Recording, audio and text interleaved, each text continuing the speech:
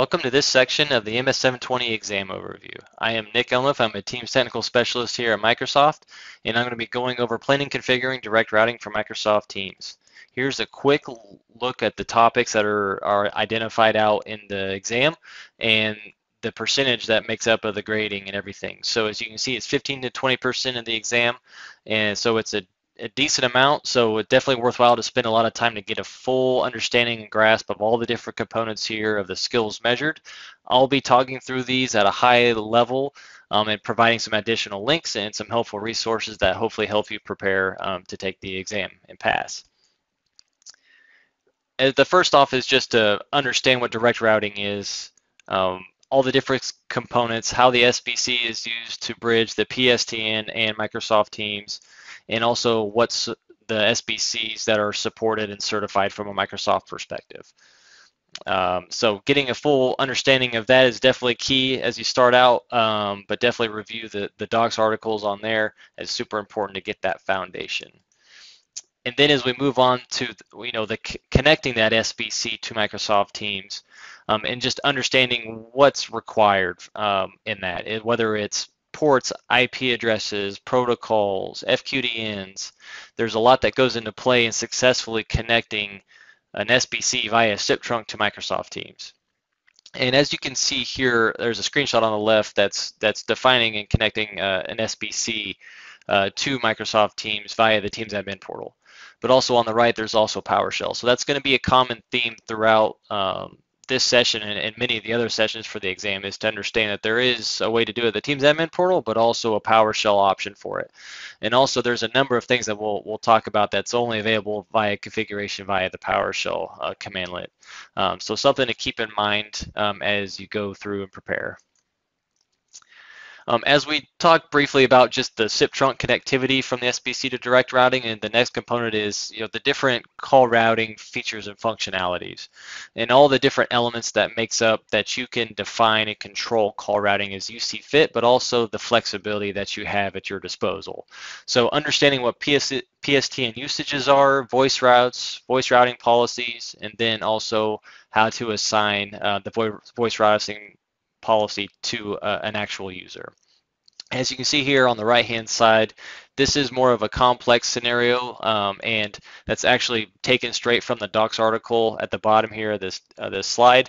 Um, it does a real good job of going through the scenario and reviewing how to set up PSTN usages, how to set up voice routes, um, and you know identifying voice routing policies and assigning users to control traffic um, as an example that's shown here is the, the ability to provide um, you know, a redundant connection to two different SBCs for a specific call pattern.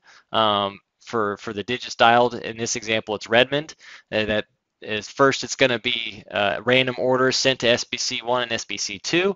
There's a second priority there um, to another couple SBCs of SBC3 and SBC4, just in case SBC1 or 2 are down or they're fully uh, or they're overloaded or if they can't take any more calls so that they do have a, a failover mechanism so that the, the call can be completed appropriately. And then at the bottom there, you can see that the number pattern is for the E161 format for the rest of the US and Canada. So, and then there's a subset of SBCs there defined as well. So you can kind of get a feel of how to use the different components and how they're packaged together and then how it's used to define you know what calls are sent where and then defining that to uh, specific users and then we kind of go next into validating a direct routing um, deployment. Um, so the first thing is just making sure the SBC is connecting properly. So you can check the health dashboard for direct routing in the Teams admin portal. You get a great snapshot of the health of the SBCs that you've um, configured and defined, but also understand SIP options and what you need to see for a, a a successful pairing between the SBC and Teams and vice versa. And then the next thing is how to test uh, direct routing, right? Um, so there is a way to uh, do that via PowerShell, and the, there's links here to download and run the uh, SIP tester client to actually uh, send synthetic calls and test calls um, instead of just leveraging a test user. So um, some some good validation and testing options there. So kind of understand and get a feel for the tools that you have available, um, as well as what does success look like and, and what does validation look like. And then we're just going to look at some other things outside of just the direct routing uh, connectivity, calling, and validation. We're going to take a look at some options to extend um, that relationship there with direct routing. So th this first one is uh, location-based routing. It's it's a mechanism to prevent and restrict toll bypass. So this comes up a lot in different countries where it's illegal to bypass the telco provider. Um, as such as India is a great example of that. So it's understanding what it is and planning for it, and then also what are the different network elements that are required to be defined in order to you know identify those sites and, and networks, so that when users are at a site, you know it's going to take the the nearest path out, um, so that it's it's not bypassing any any long distance or anything like that. So um, definitely review all those components all the way to planning, configuring, and then enabling end users. Then the next component of that is media bypass and understanding what that means and what that looks like from a signaling and also a media traffic perspective. So media bypass is meant to keep the traffic between the SBC and the Teams client. As you can see here, it's a requirement for location-based routing. Um, so definitely understand the, the call flows as well as the different call flows depending on where that Teams user is located. Um, the docs articles do a great job of diagramming um, the different the SIP trafficking um, of that, the SIP signaling, as well as the where the media paths are taking, but also how to configure for media bypass um, in those scenarios. So definitely worthwhile to spend some time and understand signaling, uh, media paths, but also um, media bypass itself and how it can be beneficial, um, how it plays in a location-based routing, and what that looks like from a call flow perspective. Then the next piece of extending a direct routing infrastructure is uh, what we call location media optimization. And it's really meant to keep media call traffic local within uh, a corporate network. Um, it allows for, you know, to use centralized SBCs with downstream SBCs at remote sites as proxies. So um, one example that's that's a screenshot here taken again from the, the Microsoft Docs articles is that you have a, a topology here and, and we take a look at a real quick snapshot of Vietnam site that has a, an SBC but in this scenario, it doesn't have a public IP address, which is required from the SBC to pair properly with Microsoft Teams direct routing. Um, but Vietnam SBC does have uh, a way to register to the centralized SBC in Singapore, and the Singapore SBC is able to connect to Teams properly. So it does have a path to connect out to Teams, um, but also while being able to keep the traffic local for those Vietnam um, users making a call out um, from that site. So definitely take some time to, to understand what it is, what are the, again, what are the call flows, what does the signaling and media paths look like, as well as how to configure those sites um, and the SBCs in, in that scenario. And then we'll move in over to how to control um, tra number translation at the SBC level. So again, this is all about having full control and full fidelity of defining number translation for inbound and outbound calls, and that's for independent um, from an aspect. Um, take a look at the different PowerShell commandlets on how to configure it. Um, but again, understanding that you do have full control over, you know, those calls coming in, what they translate to, um, even for inbound and outbound, and how to configure those independently.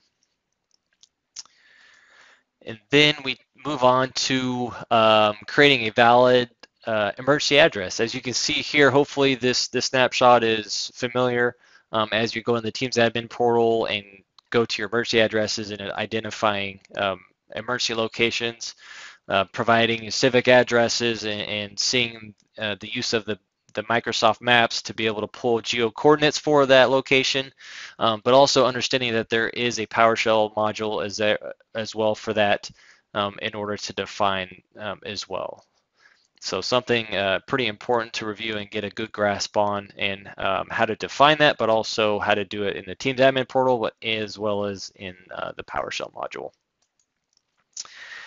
And then again, as we extend that direct routing infrastructure and, and, to use it for things other than just basic PSTN telephony calls, we introduced the on-network conferencing for direct routing. And what that is really able to use the direct routing connection to do, uh, to accommodate the call me back feature or the dial out from a Teams meeting. So if a user does a dial back from a from a meeting, it will has the potential to be able to leverage that direct routing SIP trunk connectivity to, to route that call through the SBC um, and, and also from that SBC up to uh, the meeting if somebody does a dial in. So that's definitely a, an important scenario, an example if there's a, another PBX that's on-prem that the SBC can route to in those scenarios.